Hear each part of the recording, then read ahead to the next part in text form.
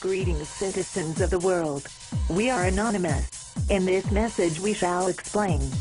What is Operation Street Peace 2012? It is an anonymous effort to awaken the street gangs into a coalition of peace. The Anonymous Legion has contacted many influential gang leaders whom are locked away in ADMAX Federal Penitentiary. These members include Black P Stone Jeff Fort, Gangster Disciple Larry Hoover, Latin King Gustavo Colon, Mexican Mafia Raul Leon, and Northern Structure Joseph Hernandez. Contact information is provided in the transcript of this anonymous message. Please we encourage your effort in helping. These men carry great influence in the streets, but this influence is no longer needed for violence. It is needed for peace.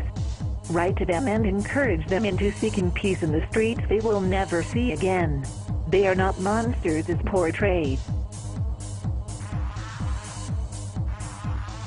They are human beings who simply had the charisma to lead and now the gangs that they led need their guidance again. Their guidance comes in the form of them seeking their own redemption. Give these men a chance to redeem themselves. Write to them and ask for their thoughts on peace and then as an anonymous legion put these messages from them on the net.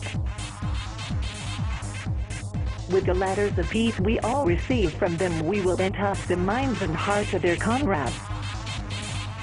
Get to work my anonymous brothers and sisters. Write to these men and get the message out there that the founders and leaders of the most notorious street gangs are calling for peace in the streets 2012.